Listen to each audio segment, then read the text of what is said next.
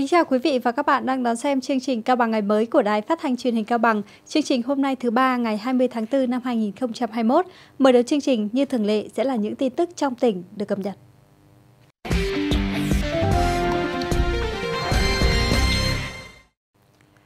Ban chỉ đạo thực hiện quy chế dân chủ ở cơ sở tỉnh tổ chức hội nghị tổng kết việc xây dựng và thực hiện quy chế dân chủ ở cơ sở năm 2020, triển khai nhiệm vụ năm 2021. Đồng chí Triệu Đình Lê, Phó Bí thư Thường trực tỉnh ủy, trưởng ban chỉ đạo chủ trì hội nghị.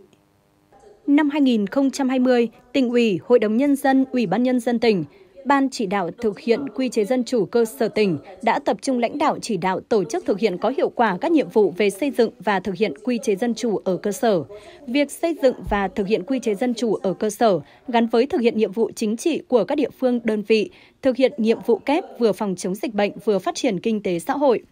Kết quả thực hiện quy chế dân chủ ở cơ sở tiếp tục góp phần nâng cao nhận thức trách nhiệm của các cấp ủy, chính quyền, mặt trận Tổ quốc Việt Nam, các tổ chức chính trị xã hội, cán bộ đảng viên các tầng lớp nhân dân về dân chủ và thực hành dân chủ, tạo sự đồng thuận cao trong nhân dân, khơi dậy tinh thần đoàn kết, nêu cao ý thức trách nhiệm về quyền, nghĩa vụ của nhân dân, góp phần tổ chức thành công Đại hội Đảng các cấp và Đại hội Đảng bộ tỉnh lần thứ 19, thúc đẩy phát triển kinh tế xã hội, giữ vững an ninh chính trị, trật tự an toàn xã hội, xây dựng Đảng, chính quyền trong sạch vững mạnh. Tại hội nghị, các ý kiến phát biểu cơ bản nhất trí với báo cáo kết quả xây dựng và thực hiện quy chế dân chủ ở cơ sở năm 2020, đồng thời đề xuất một số nhiệm vụ giải pháp để nâng cao hiệu quả, chương trình công tác về quy chế dân chủ ở cơ sở năm 2021, kế hoạch kiểm tra tự kiểm tra việc thực hiện quy chế dân chủ ở cơ sở, quyết định sửa đổi bổ sung quy chế hoạt động của Ban chỉ đạo tỉnh về thực hiện quy chế dân chủ ở cơ sở, phân công nhiệm vụ thành viên Ban chỉ đạo tỉnh về thực hiện quy chế dân chủ ở cơ sở, phụ trách khối, lĩnh vực, địa bàn. Phát biểu kết luận hội nghị, đồng chí Triệu Đình Lê, Phó Bí thư Thường trực tỉnh ủy, trưởng ban chỉ đạo yêu cầu để tiếp tục thực hiện tốt quy chế dân chủ ở cơ sở trong năm 2021, các cấp các ngành, Ủy ban Mặt trận Tổ quốc, các đoàn thể chính trị xã hội cần tập trung lãnh đạo chỉ đạo tổ chức thực hiện tốt nhiệm vụ phát triển kinh tế xã hội năm 2021, quán triệt thực hiện có hiệu quả kết luận số 120 của Bộ Chính trị, chỉ thị số 08 ngày 9 tháng 5 năm 2016 của Ban Thường vụ tỉnh ủy về tiếp tục lãnh đạo đẩy mạnh nâng cao chất lượng, hiệu quả việc xây dựng và thực hiện quy chế dân chủ ở cơ sở và các văn bản của Trung ương, tỉnh mới ban hành về thực hiện quy chế dân chủ ở cơ sở. Gắn việc thực hiện quy chế dân chủ ở cơ sở với các cuộc vận động, các phong trào thi đua yêu nước đảm bảo thiết thực, hiệu quả, tiếp tục đẩy mạnh cải cách thủ tục hành chính, nhất là những lĩnh vực liên quan trực tiếp đến người dân, tổ chức, doanh nghiệp. Thực hiện tốt việc tinh giản biên chế, cơ cấu lại đội ngũ cán bộ công chức, viên chức, kiện toàn tổ chức nâng cao chất lượng hiệu quả, hiệu lực của bộ máy nhà nước. Mặt trận Tổ quốc và các tổ chức chính trị xã hội tiếp tục đổi mới nội dung và phương thức hoạt động, tuyên truyền vận động nhân dân thực hiện tốt các chủ trương của Đảng, chính sách pháp luật của nhà nước, đẩy mạnh hoạt động, nâng cao hiệu quả công tác giám sát, phản biện xã hội, thực hiện tốt chức năng bảo vệ quyền và lợi ích hợp pháp chính đáng của đoàn viên, hội viên và nhân dân, nhất là những vấn đề liên quan trực tiếp đến quyền, lợi ích của nhân dân. Lãnh đạo huyện ủy Quảng Hòa vừa đến kiểm tra động viên cán bộ chiến sĩ công an đang khẩn trương cấp căn cước công dân tại hai xã Tự Do và Ngọc Động. Hai xã Tự Do và Ngọc Động có hơn 6.900 công dân trong độ tuổi cấp thẻ căn cước công dân. Trong đó, xã Tự Do khoảng 3.000 hồ sơ và xã Ngọc Động khoảng 3.900 hồ sơ. Lực lượng công an đã cấp căn cước công dân tại hai xã này từ sáng ngày 18 tháng 4. Dự kiến đến ngày 21 tháng 4 sẽ hoàn thành việc cấp thẻ cho hơn 6.900 hồ sơ. Đến thời điểm này, huyện Quảng Hòa đã hoàn thành hồ sơ cấp thẻ căn cước công dân gắn chip điện tử cho khoảng 35.000 người trong tổng số hơn 53.000 người dân toàn huyện có độ tuổi từ 14 trở lên theo quy định ghi nhận và đánh giá cao tinh thần làm việc, thái độ phục vụ nhân dân của cán bộ chiến sĩ công an, lãnh đạo huyện ủy Quảng Hòa đề nghị lực lượng công an, chính quyền địa phương và người dân cần tích cực phối hợp giúp đỡ nhau khắc phục khó khăn, đảm bảo việc cấp căn cước công dân cho người dân thuận lợi, đúng quy định, phấn đấu hoàn thành chỉ tiêu cấp căn cước công dân gắn chip điện tử cho người dân trên địa bàn huyện theo kế hoạch. Đồn biên phòng Xuân Trường, Bộ đội Biên phòng tỉnh Cao Bằng chủ trì phối hợp với lực lượng chức năng thực hiện nhiệm vụ tại khu vực xóm Lũng Rì, xã Khánh Xuân, huyện Bảo Lạc, phát hiện hai đối tượng tổ chức cho người khác xuất cảnh trái phép sang Trung Quốc. Hai đối tượng là Chảo Mùi Kiều sinh năm 1984, trú tại xóm Cao Bắc và Xin Vân Ú sinh năm 1995, trú tại xóm Mù Tràng, xã Xuân Trường, huyện Bảo Lạc, đang dẫn 6 công dân gồm 3 nam 3 nữ quê ở Nghệ An, Thanh Hóa, Lai Châu có ý định xuất cảnh trái phép sang Trung Quốc. Tại đồn biên phòng, 6 công dân khai nhận thông qua mạng xã hội quen một người đàn ông không rõ tên tuổi, địa chỉ, hướng dẫn bắt xe khách lên Cao Bằng, sau đó bắt xe vào thị trấn Bảo Lạc. Người đàn ông gửi số điện thoại của Kiều để liên lạc, đón tại thị trấn Bảo Lạc, dẫn đường vượt biên trái phép sang Trung Quốc làm thuê. Qua đấu tranh, đối tượng Kiều khai nhận được ông tên San quen qua mạng xã hội WeChat, không rõ địa chỉ, gọi điện cho Kiều đón 6 công dân trên lên biên giới. San hứa trả cho Kiều 800 nhân dân tệ và trả cho người đi đón cùng 300 nhân dân tệ một người. Kiều đã đồng ý và gọi thêm 7 người gồm Xin Văn Ú sinh năm 1995, Trảo Phụ Luồng sinh năm 1990, Trảo Phụ Sinh sinh năm 1996, Trảo Quầy Lẻng sinh năm 1996, Trảo quê Trình sinh năm 1985, Trảo Vân Rất sinh năm 1996, Trảo Vàng Khé sinh năm 2002 cùng chú tại xã Xuân Trường, huyện Bảo Lạc. Khi Kiều và Ú bị bắt, sáu đối tượng còn lại đã trốn khỏi hiện trường. Qua tuyên truyền vận động, đến 17 giờ ngày 15 tháng 4, các đối tượng đã đến đồn biên phòng Xuân Trường đầu thú. Căn cứ lời khai của các đối tượng, đồn biên phòng Xuân Trường đã khởi tố vụ án hình sự về tội tổ chức môi giới cho người khác xuất cảnh trái phép, tiếp tục điều tra xử lý theo quy định của pháp luật. Thưa quý vị và các bạn, giáo dục nâng cao nhận thức cho học sinh về giá trị công viên địa chất toàn cầu UNESCO non nước Cao Bằng là cần thiết hiện nay. Xác định tầm quan trọng đó, những năm qua, mô hình câu lạc bộ cùng em khám phá công viên địa chất ra đời, được Ban Quản lý Công viên địa chất non nước Cao Bằng và các trường học triển khai sâu rộng dưới nhiều hình thức. Ban Quản lý Công viên Địa chất Non nước Cao Bằng đã tổ chức chương trình thực tế cho 107 cán bộ giáo viên tại các trường học trong vùng Công viên Địa chất Non nước Cao Bằng để nhân rộng và phát triển mô hình câu lạc bộ cùng em khám phá công viên địa chất phù hợp với thực tế ở từng địa phương. Hành trình trải nghiệm công viên địa chất toàn cầu UNESCO Non nước Cao Bằng được diễn ra trong 3 ngày với 34 điểm di sản tại huyện Nguyên Bình, huyện Hòa An, huyện Hà Quảng, huyện Quảng Hòa và huyện Trùng Khánh. Điểm đến đầu tiên là đền Vua Lê tại xã Hoàng Tung, huyện Hòa An. Đền Vua Lê là di tích lịch sử có giá trị về mặt lịch sử, giáo dục truyền thống đấu tranh chống quân xâm lược của nhân dân. Những câu chuyện gắn liền với lịch sử nơi đây đã đem đến những cảm xúc đầy tự hào dân tộc cho các thầy cô giáo đến đây trải nghiệm. Đối với các thầy cô giáo, lần đầu tiên được đến với các điểm di sản như Ngườm Xưa, Vườn Đá Hoàng Tung, Ngườm Bốc thật ý nghĩa, sử phát triển địa chất, không chỉ có giá trị cảnh quan mà còn có cả giá trị về mặt khoa học. Tại đây, các thầy cô giáo bộ môn địa lý cũng đã có những trao đổi, chia sẻ để mọi người cùng hiểu rõ hơn về những cảnh quan và địa chất.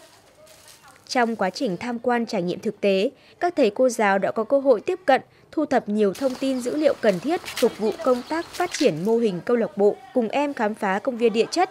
Để có được những kiến thức, những video mới về di sản Cao Bằng mang tính ứng dụng vào phát triển câu lạc bộ, các thầy cô đã được trực tiếp tìm hiểu, thực hành dưới sự hướng dẫn nhiệt tình của các báo cáo viên Ban Quản lý Công viên Địa chất.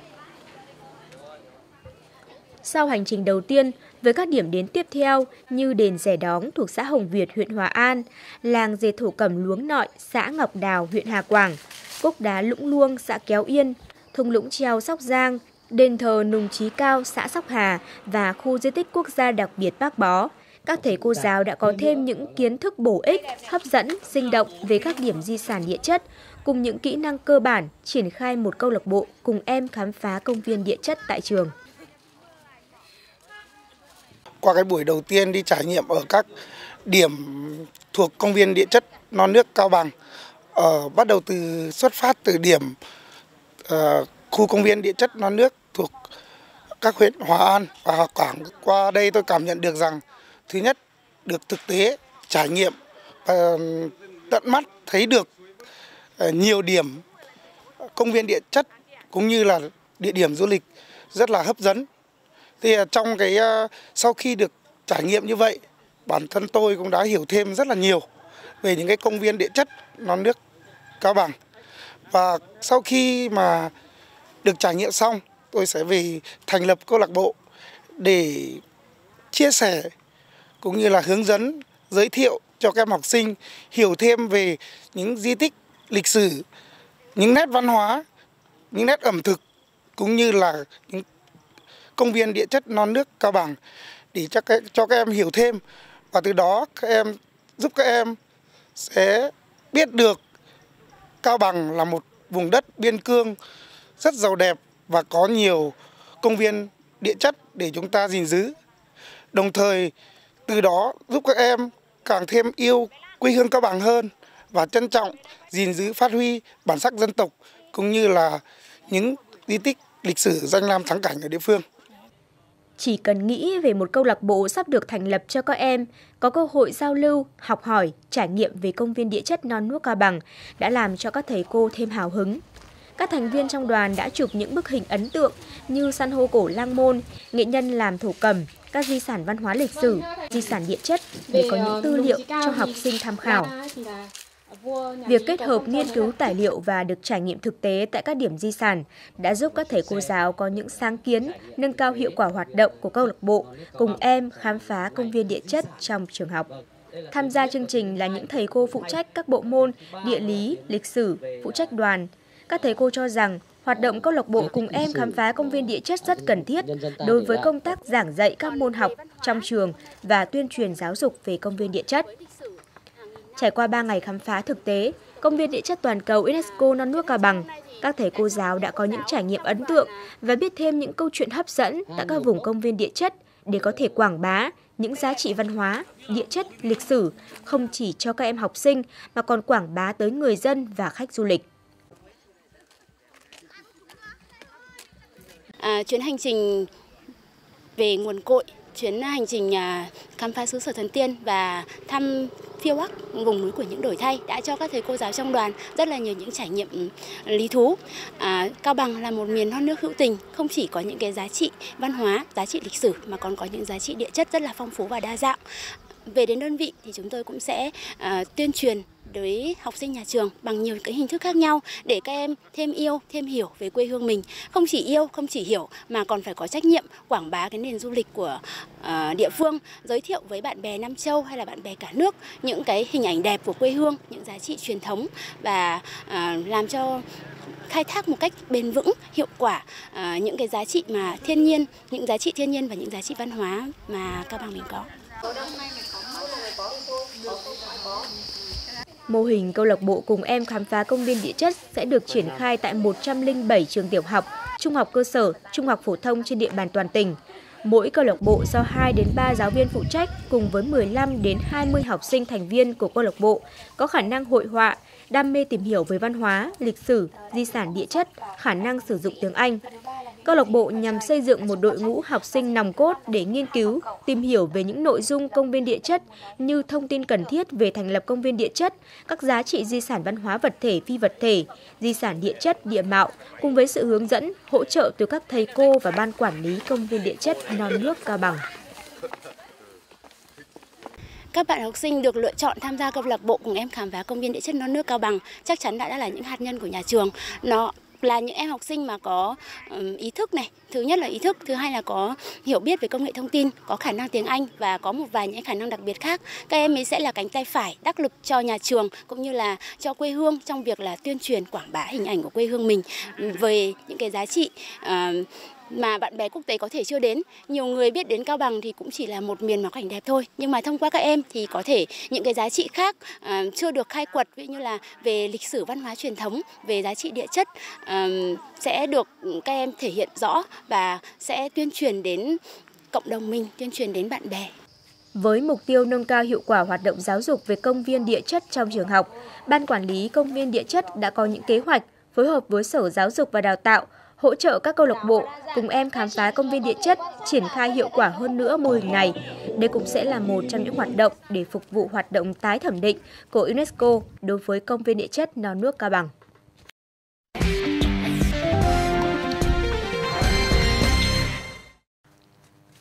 Chuyển sang thời lượng của mục điểm báo điểm qua một số tin tức nổi bật trên các báo sáng nay.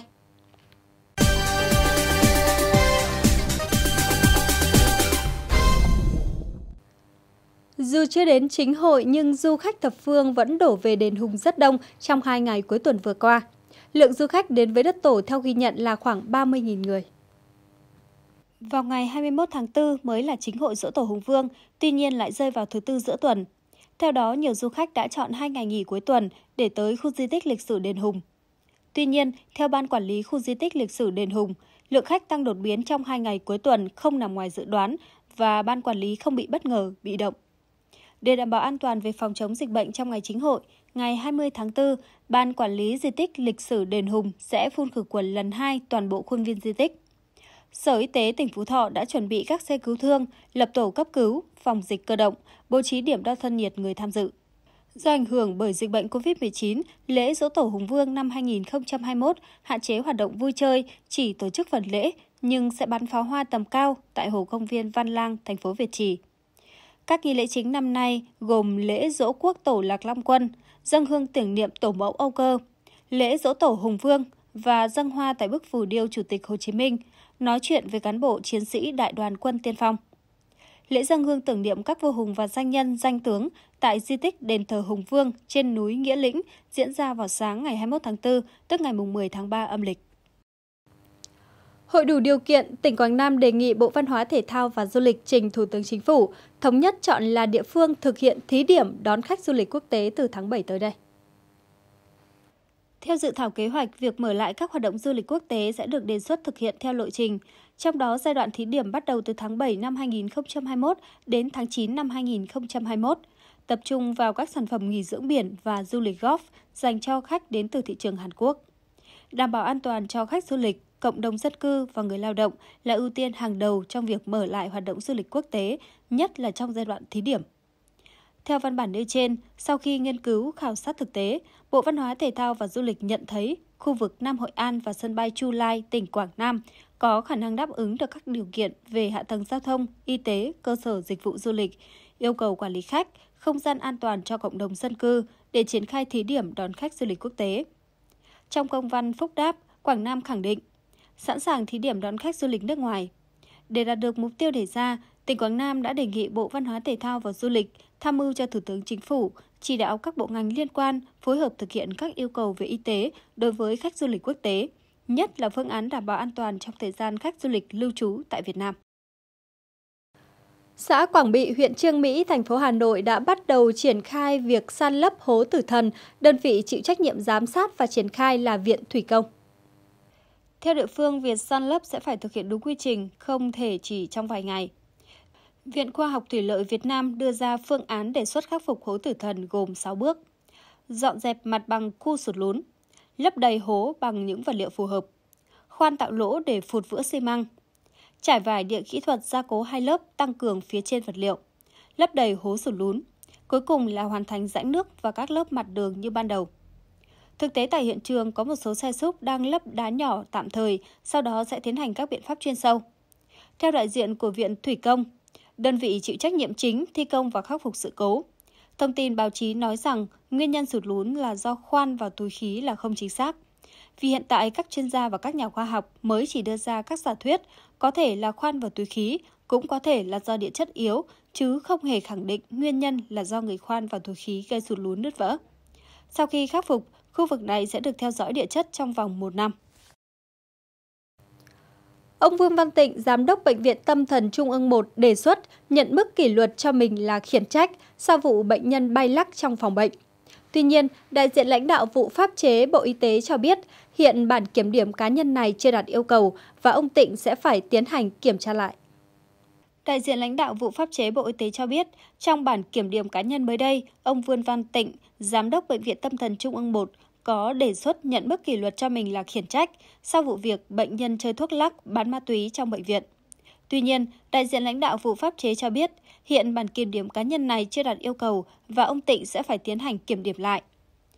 Theo Bộ trưởng Bộ Y tế Nguyễn Thanh Long, đây không chỉ là vụ vi phạm pháp luật nghiêm trọng mà còn là những vi phạm nghiêm trọng quy trình quản lý bệnh viện và các quy chế, quy trình chuyên môn trong hoạt động khám chữa bệnh.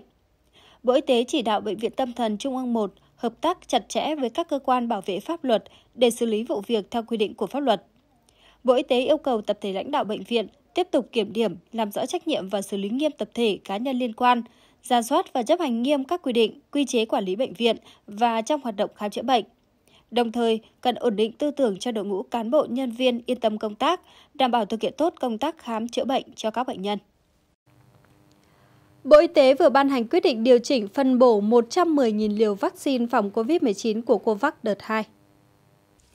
Đối với số lượng 80.000 liều cấp cho lực lượng quân đội, Bộ Y tế điều chỉnh cấp 35.000 liều vaccine cho quân đội để tiếp nhận, bảo quản và triển khai tiêm chủng cho các đối tượng thuộc tầm quyền quản lý. Cấp 34.350 liều cho Trung tâm Kiểm soát Bệnh tật 44 tỉnh, thành phố, trong đó các tỉnh thuộc khu vực miền Bắc là 15.450 liều, các tỉnh thuộc khu vực miền Trung là 8.200 liều, các tỉnh thuộc khu vực Tây Nguyên là 3.450 liều, các tỉnh thuộc khu vực miền Nam là 7.250 liều. Ngoài ra, Bộ Y tế cũng cấp bổ sung 10.650 liều cho 5 tỉnh, thành phố, gồm Trung tâm Kiểm soát Bệnh tật tỉnh An Giang 2.200 liều, Trung tâm Kiểm soát Bệnh tật tỉnh Tây Ninh 2.250 liều, Trung tâm Kiểm soát Bệnh tật tỉnh Kiên Giang 2.200 liều, Trung tâm Kiểm soát Bệnh tật tỉnh Đồng Tháp 2.000 liều và Trung tâm Kiểm soát Bệnh tật tỉnh Long An 2.000 liều. Những liều vaccine được cấp bổ sung này để tiêm cho các đối tượng ưu tiên theo nghị quyết số 21 NDCP ngày 26 tháng 2 năm 2021 của Chính phủ, ngoài lực lượng quân đội, công an. Cũng theo quyết định của Bộ Y tế, đối với số lượng 30.000 liều cấp cho lực lượng công an, điều chỉnh cấp cho Trung tâm Kiểm soát Bệnh tật tỉnh, thành phố, 62 tỉnh, thành phố. Trung tâm Kiểm soát Bệnh tật tỉnh báo cáo Sở Y tế phối hợp với Công an tỉnh để tổ chức tiếp nhận, bảo quản vaccine phòng COVID-19 và cấp phát số vaccine này cho lực lượng Công an tỉnh để tổ chức tiêm.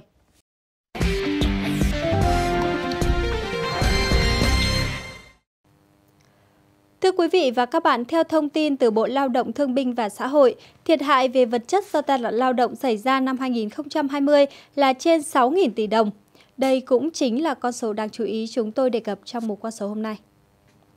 Năm 2020, toàn quốc đã xảy ra gần 8.400 vụ tai nạn lao động, làm hơn 8.600 người bị nạn.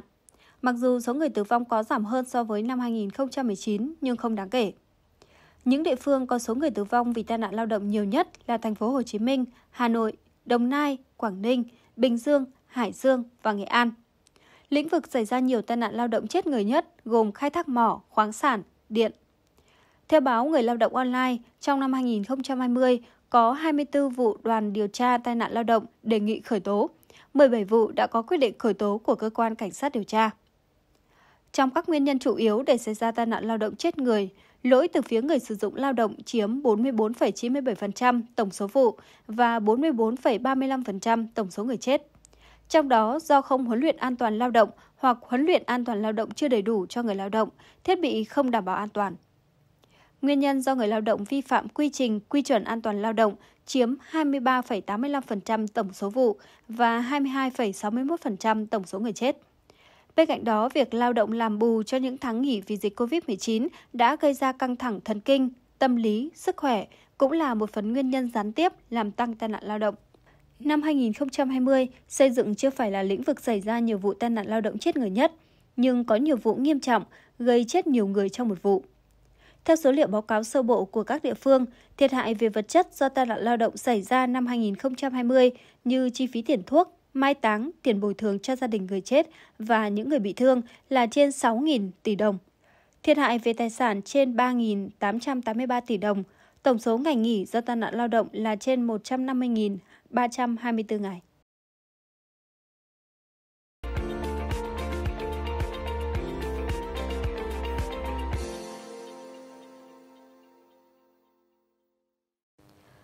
Thưa quý vị và các bạn, dù cho món ăn của bạn được chuẩn bị tươi sạch và chế biến kỹ càng, chúng vẫn có thể trở nên độc hại nếu được bảo quản không đúng cách. Một số thực phẩm phổ biến có thể trở nên độc hại bất ngờ nếu được làm nóng lại bằng nhiệt sau khi đã chế biến. Các thực phẩm không nên hâm nóng bằng lò vi sóng sẽ có trong mục sức khỏe thưởng thức hôm nay. Cho dù món ăn của bạn được chuẩn bị tươi sạch và chế biến kỹ càng, chúng vẫn có thể trở nên độc hại nếu được bảo quản không đúng cách. Một sai lầm thường thấy của nhiều người là hâm nóng lại thức ăn cũ. Hành động này không những có thể làm giảm hương vị món ăn, hao hụt lợi ích sức khỏe của nguyên liệu mà còn gây ra ngộ độc thực phẩm. Sau đây là những thức ăn bạn nên ăn ngay và không nên làm nóng lại qua lò vi sóng. Cần tây Cần tây là nguyên liệu tuyệt vời cho nhiều món ăn, nhưng nếu được làm nóng lại bằng lò vi sóng thì tính chất của nó sẽ thay đổi. Nitrat chứa trong cần tây sau khi hâm lại có thể chuyển thành nitrit độc hại, một chất gây ung thư. Bạn có thể nấu súp kèm cần tây, đây là một món ngon kể cả khi ăn lạnh. Trứng Trứng bóc, trứng tráng hay luộc đều là những món ăn quen thuộc với nhiều người. Tuy nhiên, bạn nên lưu ý rằng trứng sẽ trở nên độc hại nếu tiếp xúc nhiều lần với nhiệt, cụ thể là hâm nóng. Nếu muốn tận dụng phần trứng còn dư, hãy cho vào bánh kẹp hoặc rau trộn để ăn nguội mà không cần xử lý qua nhiệt. Rau bina Rau bina rất được ưa chuộng, đặc biệt là với người chọn chế độ ăn lành mạnh vì rất giàu vitamin và khoáng chất. Tuy nhiên, cũng giống như cần tây, rau bina chứa đầy nitrat dễ chuyển hóa thành nitrit, độc hại sau khi hâm nóng. Để có thể sử dụng hết rau bina còn thừa, bạn có thể cho chúng vào sinh tố, bánh kẹp hay rau trộn. Nấm Dù có hàm lượng cao protein, vitamin và axit amin, một số loại nấm lại không dễ tiêu hóa. Nếu bạn làm nóng lại nấm, thành phần protein trong chúng sẽ thay đổi.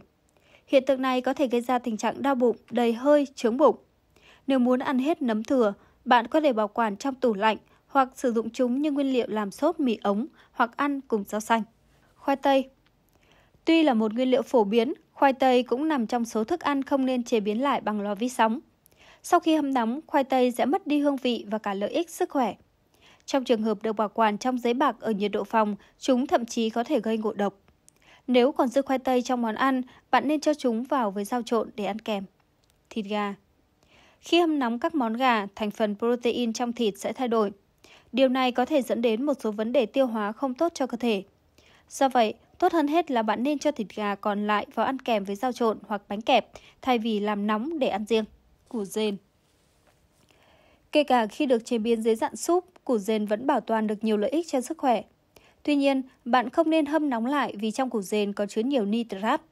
Ăn củ dền tươi là lựa chọn tốt cho sức khỏe nhất. Bạn có thể kết hợp loại thực phẩm này trong sinh tố hoặc rau sống. Cơm Trong cơm có nhiều vitamin, khoáng chất và axit amin. Tuy vậy, thực phẩm này cũng mang theo nhiều bào tử vi khuẩn tồn tại ngay cả sau khi nấu chín. Nếu để cơm ở nhiệt độ phòng sau khi chế biến trong một thời gian dài, vi khuẩn sẽ sinh sôi, có thể dẫn đến gây ngộ độc thực phẩm sau đó. Việc không nóng cơm cũng không triệt tiêu được hết mầm bệnh. Vì thế, tốt hơn hết là hãy ăn cơm ngay sau khi nấu hoặc bảo quản trong tủ lạnh trong vòng 1 giờ kể từ khi nấu xong nếu chưa muốn ăn ngay.